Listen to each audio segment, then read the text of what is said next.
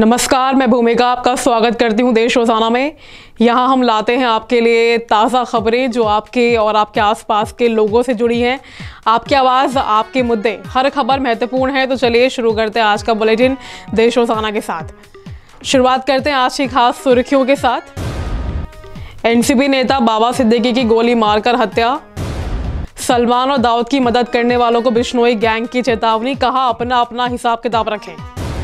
सलमान खान की बढ़ाई गई सुरक्षा, बिश्नोई का अगला निशाना कहीं नेता के बाद अभिनेता तो नहीं। हिजबुल्ला का इसराइल पर हमला, पाँच मिसाइलें नाकाम, आईडीएफ की सफल सुरक्षा। दिवाली और छठ पूजा पर रेलवे का तोहफा, स्पेशल ट्रेनें चलेंगी यात्रियों की सुविधा के लिए। दासना मंदिर पर बवाल, पुलिस और यति नरसिंहानंद समर्थकों के बीच तनातनी। अलीगढ़ में सड़क हादसा, चार दोस्तों की ज़िंदगी चुराने वाला भयानक मंजर आया सामने। चेन्नई में नाबालिग का स्टंट, चलती ट्रेन में सिर पोल से टकराया, वीडियो हुआ वायरल। केरल में शादीशुदा कपल की कार कुएँ में गिरी, किस्मत ने बचाई जान। एयरपोर्ट पर गिरफ़्तार हुई ग्लैमरस महिला, बैग में थी 38 करोड़ की कोकेन। बाबा सिद्दीकी हत्या के आरोपी शूटर की दादी का खुलासा, कहा 2019 में हुआ था जेल, जमानत कराने वाला कौन था, पता नहीं। नज़र डालते हैं हरियाणा की खास खबरों की ओर। नायब सिंह सैनी को मारने की, मिली जान से मारने की धमकी, आरोपी हुआ गिरफ़्तार।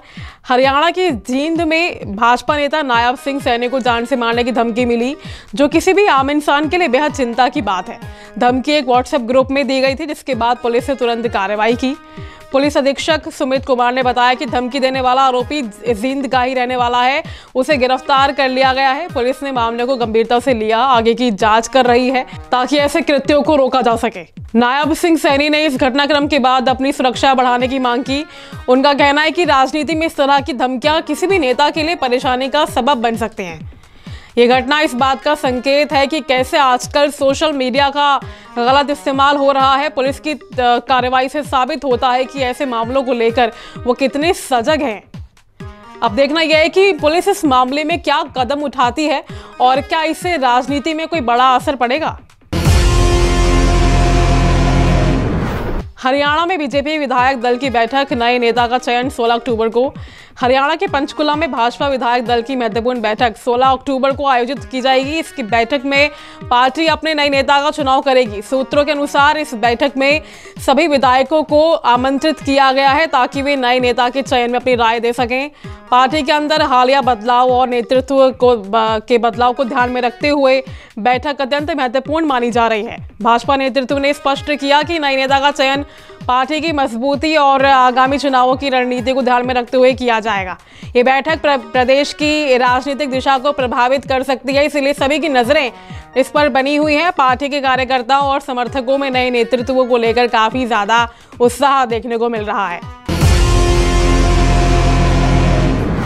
फरीदाबाद पाँच सौ रुपए के कर्ज पर हत्या, मामला गंभीर। फरीदाबाद में एक व्यक्ति को मात्र पाँच सौ रुपए के कर्ज के लिए जान से मार दिया गया। ये घटना इलाके में तनाव का कारण बन गई। पुलिस ने बताया कि मृतक ने पैसे चुकाने की में देरी की, जिसके बाद आरोपी ने उसे गंभीर परिणाम भुगतने की धमकी दे डाली। जानकारी के अनुसार विवाद बढ़ने पर आरोपी ने हत्या की वारदात को अंजाम दे दिया। स्थानीय लोगों ने इस घटना की निंदा की और इसे सामाजिक सुरक्षा के लिए खतरा बताया जा रहा है। पुलिस ने मामला दर्ज कर जाँच शुरू कर दी। आरोपी की तलाश कर रही है। इस घटना ने पूरे इलाके में डर का माहौल बना दिया और लोग अपने अपने सुरक्षा को लेकर काफ़ी ज़्यादा चिंतित है। मामले की गहराई को देखते हुए पुलिस ने जल्द से जल्द आरोपियों को गिरफ़्तार करने का आश्वासन दिया है। कुरुक्षेत्र की खबर की गुरनाम सिंह चडूनी ने भूपेंद्र सिंह हुड्डा पर कांग्रेस की हार का लगाया आरोप। कुरुक्षेत्र में भारतीय किसान यूनियन के नेता गुरनाम सिंह चडूनी ने कांग्रेस की हालिया हार के लिए पूर्व मुख्यमंत्री भूपेंद्र सिंह हुड्डा को जिम्मेदार ठहराया। चडूनी ने कहा कि हुड्डा की नेतृत्व क्षमता ने पार्टी को कमज़ोर किया और इससे चुनाव में बुरी तरह हार का सामना करना पड़ा। चडूनी ने मीडिया से बातचीत में बताया। उन्होंने कहा कि कांग्रेस के नेताओं ने किसानों के मुद्दों को नजरअंदाज किया, जो कि उनकी हार का मुख्य कारण बना। उन्होंने कहा कि यदि पार्टी को फिर से मज़बूत होना है तो उसे अपनी रणनीति में बदलाव लाना ही होगा। और इस बयान ने प्रदेश में राजनीतिक हलचल पैदा कर दी। ये देखना होगा कि कांग्रेस पार्टी इस पर क्या प्रतिक्रिया देती है। चढ़ने का आरोप राजनीतिक विश्लेषकों के बीच चर्चा का विषय बन गया है, जिससे आगे की चुनावी रणनीतियों पर असर पड़ सकता है। तो ये थे आज की मुख्य खबरें। अगले बुलेटिन में फिर मिलेंगे। तब तक जुड़े रहे देश रोज़ाना के साथ। देखते रहिए आपका मन पसंदीदा चैनल देश रोज़ाना। बेबाक सच। हमारे साथ जुड़े रहने के लिए सब्सक्राइब करें देश रोज़ाना के यूट्यूब चैनल को और नई वीडियो की नोटिफिकेशन पाने के लिए बेल आइकन ज़रूर दबाएँ। अगर आप ये वीडियो फेसबुक या इंस्टाग्राम पर देख रहे हैं तो पेज को लाइक और फॉलो ज़रूर करें और ज़्यादा से ज़्यादा शेयर करें